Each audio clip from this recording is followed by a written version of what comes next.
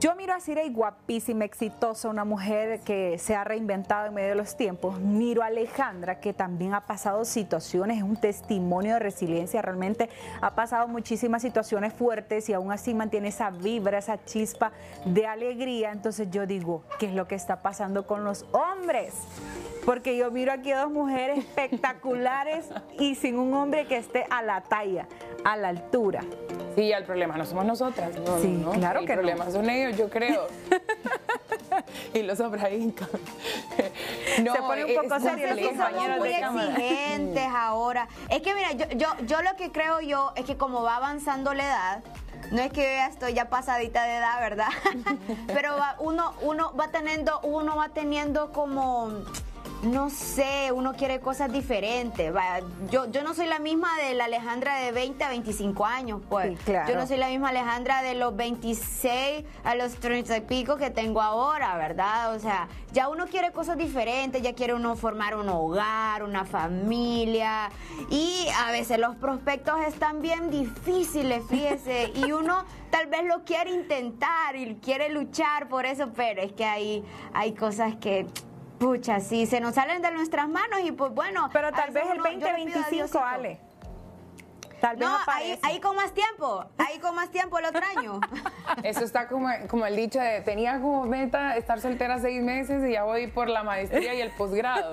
Nos pasa de repente, ¿no? Que, que planeamos algo y yo también me meto ahí porque la verdad que yo terminé con una relación que tenía bonita hasta cierto tiempo, eh, soñada y hasta que se dañó, ¿no?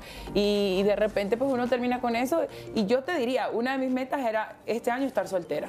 O sea, reconstruirme, recuperar el amor propio, creo que eso es muy importante, ¿no?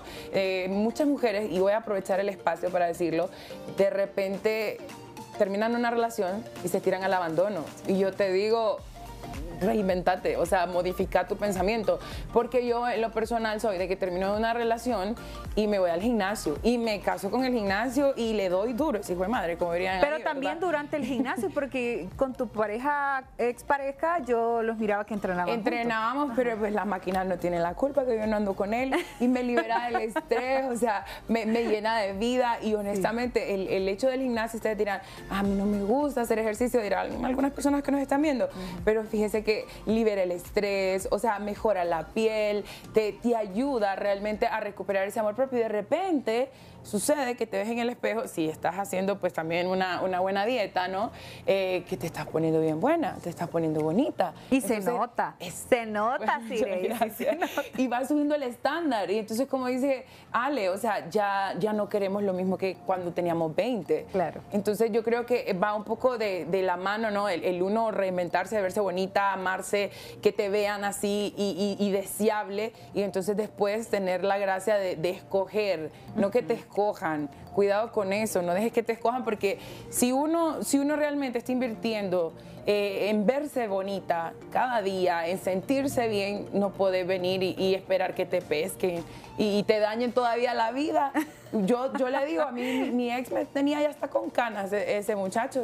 Yo, gracias a Dios, o sea, lo dejé porque, mire, se, acabó, Pero se ¿y acabaron mis problemas. ¿Era celoso? Ay, ¿O era de qué pasó? peor, pero, o sea, al inicio fue bonito, ya después fue muy, muy malo. Pero no por eso me voy a cerrar, ¿verdad? Pero ya era para el muy tóxico. 2025 sí tengo metas de, de ya abrir mi corazón. O sea que Sirey, personas tóxicas ya no más, ya vivió Sí. ese capítulo en su vida. No, no, no, no, no. Definitivamente no, no queremos gente tóxica, es mejor estar solita. Eh, y le digo, la- las metas claras de este año creo que sí las cumplí, que fue enfocarme en mí, viajar, eh, verme bien, seguir creciendo, crear un proyecto, eh, llevarlo a cabo. O sea, yo le animo a las personas que nos están viendo a que no solamente Sí, me quede yo con el, el deseo que tenía y de que lo cumplí, sino que usted también se trace metas a, a cumplirlas y hacerlas realidad y no dejarlas a medias porque, ah, fui al gimnasio un día, que es la Sí. típica, ¿verdad? Por eso lo pongo de ejemplo, y me cansé y ya no volví a ir. Entonces eso no, no está bien, la verdad. Sí, y yo sí pienso que ya ¿Sabe a qué pasa? altura- Sí, Ale. Sí, no, ¿sabe qué pasa también? Que uno, yo me, yo me he estado reinventando durante todo el año. Entonces ya uno llega como a una etapa de que, ok, ya estoy lista. Y también eso pasa, ¿verdad? Como que, bueno, luego de una relación uno queda golpeado.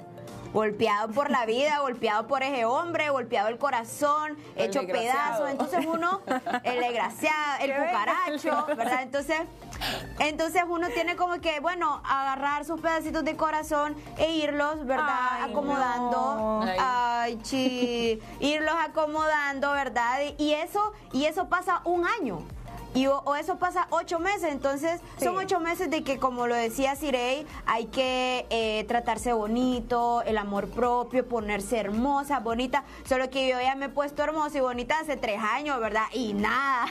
No, pero siempre Es la hay. situación. Siempre hay alguien. Pero no ha llegado el que usted quiere. Pero como dicen en, en. Honduras, el ganado ahí anda desatado. No, claro. ¿Cuál es mi no dicho, Claudia? ¿Cuál es mi dicho? Ale dice ¿Soltera? que soltera, pero nunca sola. Ah. Eso dice Ale. Exacto. Yo- O sea, Ale El, problema Claro. es que no hubiera nadie. amiguitos o sea, hay.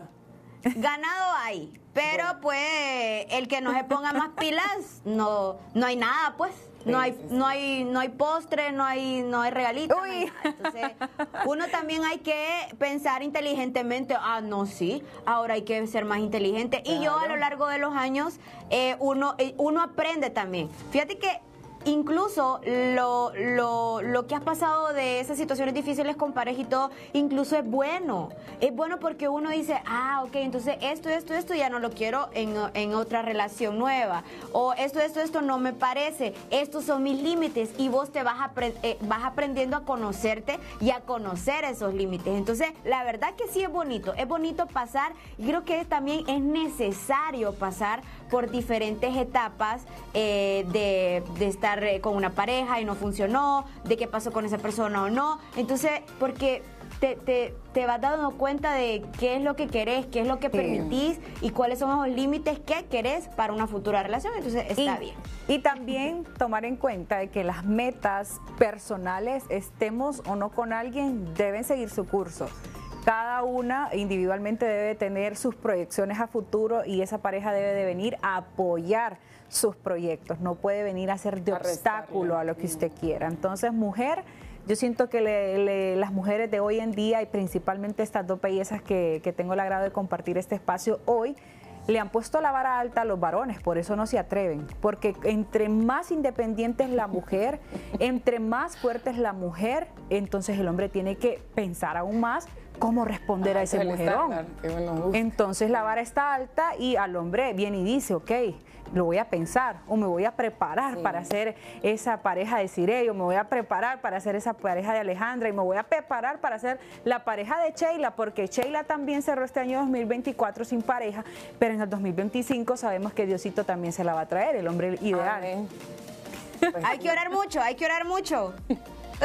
Bueno, los hombres que nos están viendo, eh, a ver, no se desanimen. Simplemente no se intimiden No, y a salir adelante, porque ajá, hay mucha mujer reinventada aquí creciendo, entonces Sí. usted también tiene que crecer. Así es.